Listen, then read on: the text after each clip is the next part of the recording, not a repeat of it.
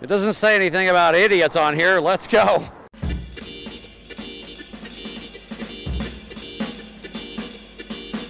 Hey, it's Box on Fox, and today we're at the Arthur Ravenel Jr. Bridge to ask you.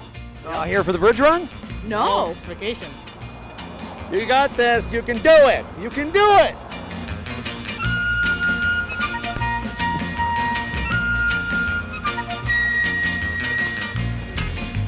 You, know what was there before? No, we were just wondering that. Yeah, a lot of trees. Don't it always seem to go? And you don't know what you got Yeah, till it's gone. gone. Pay paradise to put up a parking lot. Ooh, bop, bop, bop. Ooh, bop, bop, bop. You're amazing.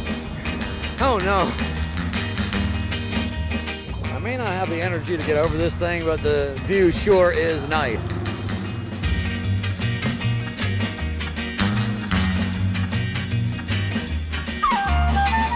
A helicopter. All right, so uh, tell me about your teacher. Who's running in the bridge run Saturday? Miss Watchell, Uh, where do you go to school? Parsley King. So you want to wish her good luck? Yes.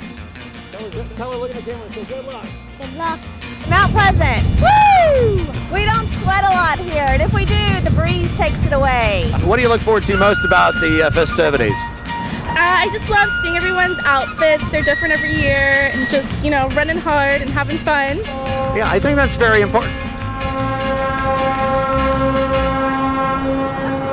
Do you look forward to the run, the adventure of uh, accomplishing something that physical, or, or the drinks at the end? Definitely the drinks. That's just a terrible idea to wear a hat today. Looks like I picked the wrong week to wear a hat.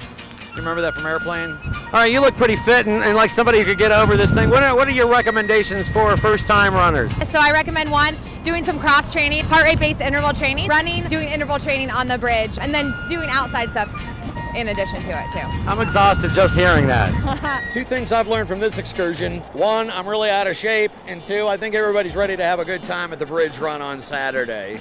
For more Box on Fox, keep it here every Friday and stay tuned at boxinthemorning.com.